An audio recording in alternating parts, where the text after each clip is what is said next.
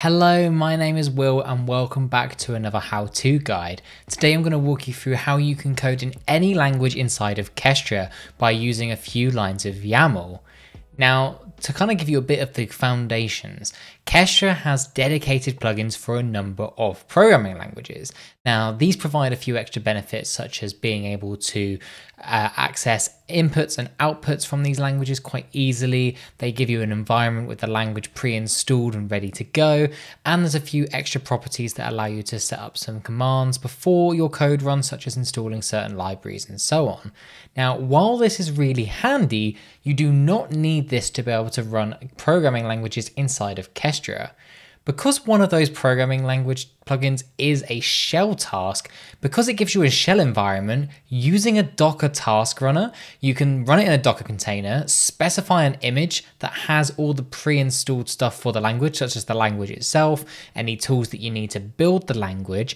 You can then bundle that all together and now you've got yourself a full Unix environment with the tools you need in the programming language. And now you can just provide it a few commands like you would on your own machine to run your code. So I'm going to walk you through a bunch of different examples on how that works and give you a few use cases. Now, jumping into Kestra, I've got this very simple example here that is going to run our code using the Python script plugin. Now, this is really easy because this allows us to run our code inside of the workflow. So all I've had to do here is get this Python file and I can just paste it straight in here under the script property. So really, really handy if you want to be able to write just a couple of lines of code, nothing crazy, but you want to be able to tap into the full extent of a programming language rather than having to use one of the plugins and maybe chains them together. If you'd rather just write it here, then you can do that like so. Now, as you can see here, we're using the pandas library. So using the before commands property, I'm able to install pandas so it's ready to go in an environment. I could also use this to maybe install like a requirements.txt if I had one of those available and therefore it works. So now if I press execute, we'll see that this is going to process as we would expect, and it's going to give us the total revenue, which we can see is at the bottom once it's installed uh, pandas. And as you can see, it is actually running this inside of a container using the Docker task runner. And we can see there it has successfully given us the total revenue as we would expect. So really easy. But there is another way you can do this, which is better suited for more complex projects with multiple files. And that way is using the Python commands task. So in our next example here, I'm now using the Python commands task. Now, the key difference here is this is now going to run some commands effectively in a terminal for Python. So this is how we would typically run Python on our own machine. Now, if we go to our namespace files here on the left, I have a file I've created here called example.py, and this has the same code that we used in the other task. Now, because this is here in our namespace, I can now access this in the commands task. But to do so, I do need to add this additional property called namespace files and enable it to true.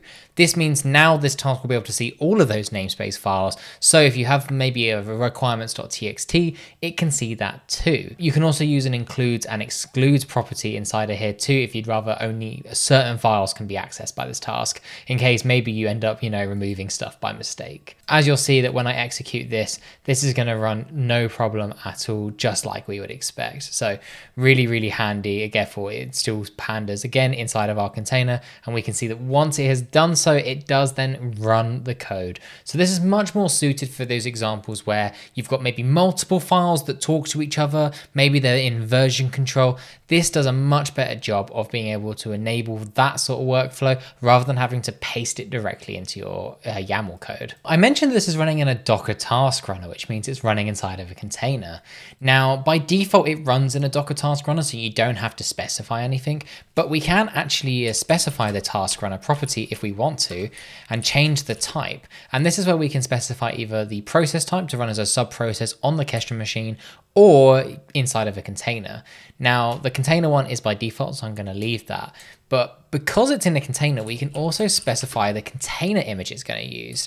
So here it's just auto filled me this Kestra Python one, but I can actually change a different one called PyData, and this comes with pandas pre-installed. So now I can get rid of the before commands, and I now have an environment that is perfectly ready for my uh, Python code. And again, this works with any other Python image that you might use in a container. So you can really make this work just for you. So here I can execute this like we would expect. We can see that it runs it like you would expect it to, and it then gives us the same result, but it's using that image that already has it pre-installed rather than having to install it using pip. And I'm, you know, like I said, because the task runner is a default value, I don't have to specify it. It will still work with just container image. So really handy if you want to be able to just specify different container images for different tasks without having to add that it's working in Docker. Now, one of the cool things about being able to write your workflows in Kestra is just because you don't have to just execute your code. In fact, you can make the workflow interact with your code. So in this example here, we're back with a script task,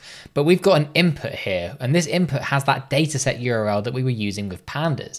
But instead of having it in the Python code, we can then use an expression here to be able to paste it directly in our execution. So this means we can change in and out that dataset every time we run this, which means maybe maybe you run different data sets at different times a day, or maybe this, you know, you want to be able to test it with different ones. So you'll see here when I press execute, it does give me the default value that I already requested, but it's going to paste that into the Python code. So really, really handy if you want to be able to uh, pass a bunch of parameters in maybe as part of a function, and you can do this directly from your inputs. So really, really handy. So you can actually see that I've changed the example now to have a little function here. The function is going to get the parameter, but we can pass those parameters in when we call the function. So now when I press execute, we can see it in action. And here, when I press execute, we can see that it's gonna run it and it's gonna be able to pass that parameter into our function and get us the value. So now we have a dynamic workflow that can interact directly with our Python code. But you might be wondering, that's great and all, but I don't want to have to write everything in my YAML code. That's not very helpful. Well, don't threat because you can actually still do this with the commands by using environment variables. Let's have a look at an example of that. So here I've got the same input, but I'm using the commands task here, and I can actually specify a few environment variables, in this case, dataset URL, and I can then pass the input in there. This is also useful if maybe you've got earlier tasks that are fetching data. Maybe you've got an S3 download getting you your CSV data, or maybe you're doing a HTTP download. You can then pass that output down as an environment variable, and then you can access it there.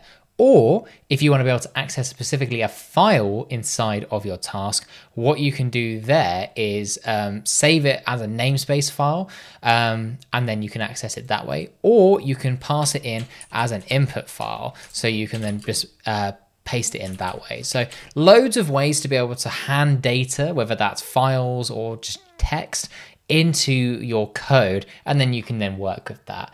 We'll look at another example of using input files shortly, but here I've got that environment variable, but I am gonna now need to update my Python code so that it can handle the environment variable. And here I've got a very simple os.environ that's going to just access that environment variable, hand it over to pandas, and then let pandas do the rest. So now I can execute this. It's going to execute it with the dedicated file using environment variables, which also means if you then wanna run this on a local machine, all you've got to do is just pass your environment variables through and it's not going to break. Whereas the embedded directly into YAML, if you had that locally, you wouldn't be able to test it because the expression wouldn't work in the same way. But again, we can see that total revenue is what we would expect. Now, I mentioned earlier that if you want to use a programming language that doesn't have a dedicated plugin like the ones we have on the screen here, we can actually use the shell plugin to give us that environment that we need to then be able to execute any programming language of our choice.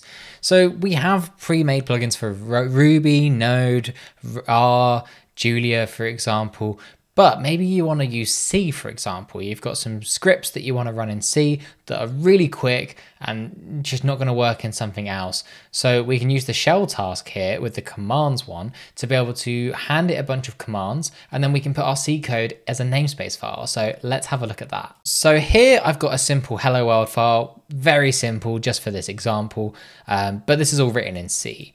Now, because it's a namespace file, I can use the shell commands uh, task with a Docker task runner to access that, make sure that we've got the namespace files enabled. And then the key thing here is I'm specifying a container image, which in this case is GCC, to make sure that we get the um, tools we need to be able to compile the C code and then we can execute it. So here you can see in the commands, I'm using GCC to compile our C code and then I can simply then execute the file it produces. And so let's have a look at this in action. And as you can see here, it pulls GCC and then it's able to give us the hello world. So now with this in mind, let's take this a little bit further and recreate that same scenario with the CSV file using C. Now, we're going to do a couple of different things here to show you how flexible Kestra can be. So first things first is we're going to download that CSV to begin with using this HTTP download task. So when we run this, it's going to run an output and we can then pass that output down the chain. And as you can see here, I'm using that input files property to be able to then pass it the uh, file that we want it to use. So now when our container runs with C, there'll be a file already inside of it called orders.csv with the content of the output. So really useful to be able to dynamically access that value in real time. The second thing is I showed you how you could execute C code as a namespace file, but you know, you probably assumed that because we were using the commands task, there wouldn't be a way to be able to write it in line. And writing it in line can be useful for being able to use expressions directly inside of your code. Well, don't fret. Because of the input files property, we can then specify another file, in this case, the C file we're going to use with a pipe here, and then we can specify all of the C code directly underneath. So here you can see we've got our main function here, and this is going to just go through that CSV file, which it can access because it's in the same container and then it's going to produce the output and print it to the terminal. And so we can see that in action and we've actually got the same example here in Go where again we're going to pass it that CSV file as an output and then give it to it as an input file run that same example and then print it to the terminal. So let's have a look at that in action. So here we can see it downloads that file. And then with the C code, we can see that it then gets the exact same response we were expecting and go as well for the same example. So very similar setups, but this is in completely different languages. So just shows you how maybe you'll set up your workflow one day for Python, but then you decide you want to change your stack to something more suited to the task. Doesn't mean you have to then rewrite all of your workflow just because you changed the language. The workflow is, you know, simply just change a few commands, maybe a container image, and away you go. We can actually go to the outputs tab here and see that it gets that data set right the data set being this, which is what we were expecting. But then we can see it goes to C and is able to use that file successfully. So what we've been doing is printing that statement to the logs which is great and all helps us see that it's working, but it doesn't allow us to be able to then use that later down the line. Maybe we want to be able to send that value to a different task. Maybe we want to send it as a notification. Maybe we want to put it in a spreadsheet, put it in a database. I don't know. But we can use this special syntax to be able to send it as an output back to our code. Now, for languages like Python and JavaScript, we do have a library that you can install and then be able to send those outputs or metrics back to them. They'll appear under the metrics or the outputs tab. But for languages that don't, uh, such as Shell, what you can do is by creating a, um, a dictionary of outputs and then a key value pair of all of those outputs, we can then send that back and Kestra will recognize it. Not the cleanest solution in the world, but this does allow us to then get usable values that we can then use later on.